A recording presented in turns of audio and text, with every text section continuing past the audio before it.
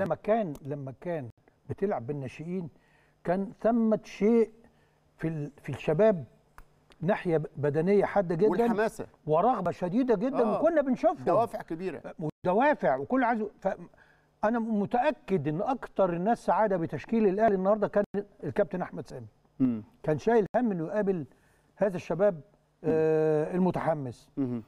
لكن كمان ساعدت مش بس كده أنت ساعدت إنك حطيت طاهر أحمد آه طاهر طاهر محمد طاهر back right.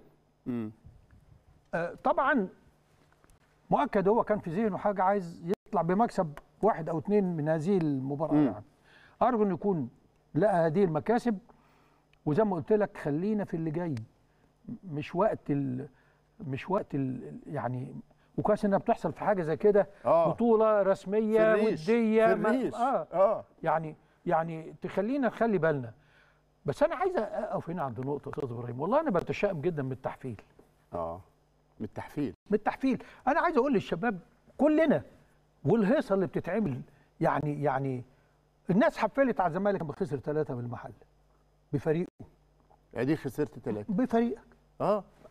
وأنا بحفل لازم افتكر ان بكره ممكن ادفع نفس الثمن. آه وإن ده سلوك حتى والعكس. يعني مش صحيح. والعكس. آه. لأن كرة القدم أفقدناها ميزتها أنها لعبة للإمتاع مش للأوجاع. آه حلوة دي. إحنا عملناها لعبة موجعة. آه. كل فرقة خش... خايفة من كل ماتش. من اللي عشان هيتحفل من عليه اللي هيحصل لها مم. مش من الماتش نفسه. أيوه. ما إحنا لو خدنا إن دي كورة نستفيد منها و- و- ويمن هكذا ويمن يوم لك ويوم عليك. آه. آه.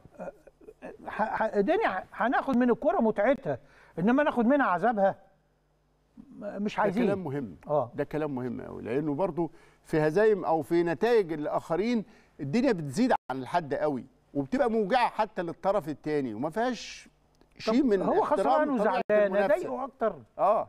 يعني كلام مش وجيه ولعل ده مناسبته الحقيقة يعني يا جماعة تقبلوا النتائج على لأن على محمل إن دي رياضة آه وإنك أنت لو في هذا الموقف هتحس إيه؟ آه أنت استفدت إيه من التحفيل؟ آه هل أنت بتلعب كرة القدم عشان تضايق اللي قدامك ولا أنت عشان تستمتع؟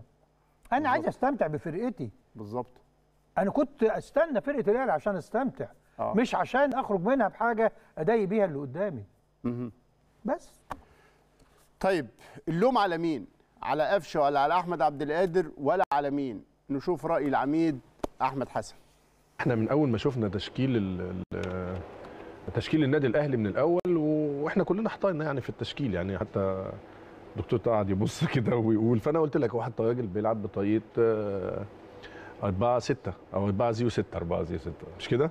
صحيح. طيب يعني نص الملعب أنت عندك زيرو مفيش. وده الدليل اللي إحنا شفناه في الماتش. لا هو كان ممكن يلعب بنفس الشكل اللي هو لعب بيه أو بالتشكيل اللي هو لعب بيه بس يختار الأماكن الصح للعيبة. مش مجرد إن أنا بحط 11 لعيب مش مهم بقى ده بيلعب فين ده بيلعب فين ده بيلعب فين لأن في منطق. المنطق مش موجود. أنت بتلعب بطاهر محمد طاهر وبتلعب بقفشة. ده أنا لما أوريك الأهداف دلوقتي هوريك كويس. في ناس هي عندها الملكة إن هي بتعرف تغطي بتعرف تقفل. لا قفشة عنده الملكة دي. ولا أحمد آه، عبد القادر عنده الملكة دي فأنا ما لومش عليهم. أنا لوم على مسوماني اللي حطهم في المكان ده.